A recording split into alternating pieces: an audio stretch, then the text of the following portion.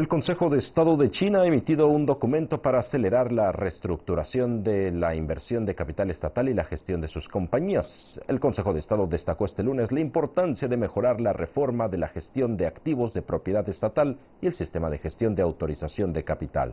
Las nuevas directrices tienen como objetivo separar el capital estatal de los derechos de operación comercial e implementar un sistema de operaciones orientado al mercado. El Consejo de Estado señaló que promoverá la optimización de la distribución y la reestructuración de la economía china. Asimismo, mejorará la eficiencia de la asignación y las operaciones del capital de propiedad estatal.